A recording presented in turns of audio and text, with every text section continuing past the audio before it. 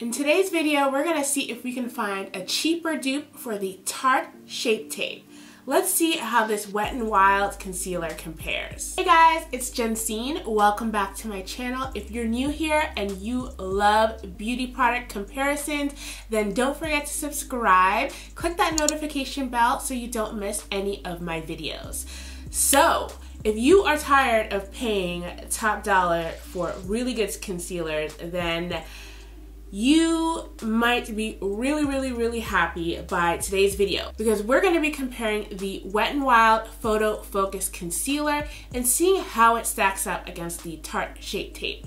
Now, unless you've been hiding under a rock, the Tarte Shape Tape is everybody's favorite almost everybody's favorite. At least it's been talked about a lot on YouTube. So, I mean, is it even really possible that a drugstore brand can um, top this one? Let's see. Now, the Tarte Shape Tape retails for about $25 on the Tarte website. You can also find it in Ulta and Sephora when it's not sold out. However, that's a pretty pricey tag, right? I mean, you kind of go through concealer a lot faster. So, I mean, to me, hey, I'll give it, it's a really great concealer, but that's really, really expensive. Now, in contrast, the Wet n Wild concealer is four bucks. Yes, you heard me, four bucks. Now, the only problem with this is it's only available in one dark shade, and you're looking at it right here. This is the color Dark Cacao. That's how it's spelled. now, in contrast, the Tarte Shape Tape comes in a lot of shades for us chocolatey gals. So, you know, that's what you're gonna get, right? There's positive and negative to everything, and the shade selection is definitely one of them. So, enough talking, let's go ahead and get to the comparison. Okay, so I've got both concealers here. Obviously, this is the higher end one, the Shape Tape, and this here is the Wet n Wild. Extremely affordable concealer. So we're gonna put them to the test. The Tarte is gonna go under this eye, and the Wet n Wild is gonna go under this eye. So I'm going to be evaluating them based on application, how easy they are to blend out, and how it looks at the end of the day. So I'm gonna do a six hour check-in and we're gonna see how both of these measure up. This here is everybody's favorite. It definitely is really good for extreme coverage, like if you have really dark under eye circles, and it also is really great for highlighting. Got my Eco Tools, and we're gonna go ahead and blend it out. I'm gonna go ahead and set that with my Laura Mercier Medium Deep Setting Powder. As you can see, I've got a nice finish here, really nice coverage. It looks excellent right after setting it. And uh, you guys know the deal. I mean, most people have tried Shape Tape. It's everybody's favorite. Now let's move on to the Wet n Wild and see how it performs. Okay, so hopefully this is just as nice to blend out as the Shape Tape.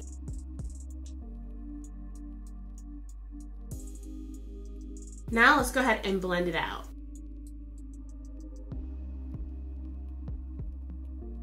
So let's go ahead and set that with the same powder. As I'm setting this, I notice that it definitely feels a lot lighter than the Tarte Shape Tape. Okay, so this is right after the initial application. Um, I mean, I want to know, let me know if you guys can tell a difference after the initial application. Leave me a comment and let me know what your initial first impression thoughts are. Now, as for mine, I'm gonna say that the Tarte Shape Tape blends out really nice. It is definitely a lot thicker and you do get, you're guaranteed that like full coverage. Now, if you have dry under eyes, this might be a problem for you because it might look really cakey since it's so thick. The Wet n Wild side goes on a lot smoother. The color match is almost identical, which is amazing and it looks really nice right after the initial setting powder. But we want to know what this is going to look like after some wear, right? Because if you're going to wear this all day, you know, what's the point if it doesn't look good at the end of the day? So I'm going to go ahead, finish up the rest of my makeup, and then I'm gonna be back after six hours of wear and we're gonna talk a little bit more about this. What up guys? So this is my six hour check-in. So what do you guys think?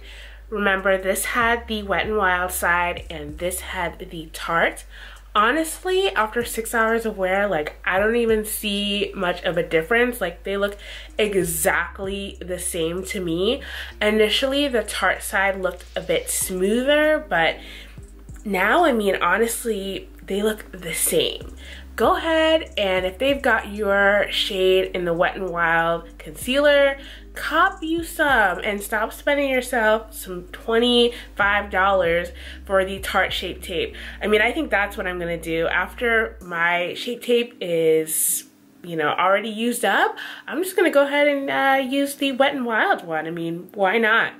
So let me know what you guys think about uh, which side looks better and whether you would use the Wet n Wild concealer over the Tarte Shape Tape. And if you guys like beauty reviews, go ahead and check out my playlist. I've got tons of them on this channel. And I will see you guys in the next video. I love you guys. Bye.